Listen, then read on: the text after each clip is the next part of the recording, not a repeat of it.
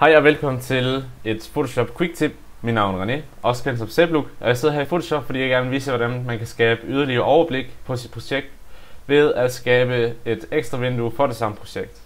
Så lad os op ind i Photoshop. Måden du gør det på er, at du trykker Window, Arrange, New Window for, og så projektnavn. Så det gør jeg. Nu har jeg, hvad hedder det, to øh, vinduer af det samme projekt. Det giver egentlig ikke så meget mening, fordi det ligger i hver sit tab.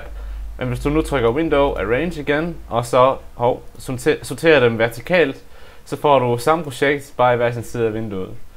Øhm, det er vigtigt at tænke på, at det er det samme projekt. Så hvis jeg laver, en, øh, hvis jeg laver noget på den ene side, lad os sige, at jeg gerne vil have en lyskilde komme på siden, så kan jeg se, at det opdaterer på begge sider.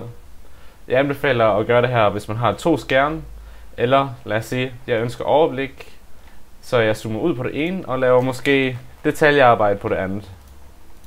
Du ved, fjerner resourcer lidt og sådan. så ja, tak fordi du kiggede med. Jeg håber, det kan bruges. Øh, følg jer fri til at stille spørgsmål i comments eller på min mail. Hej igen.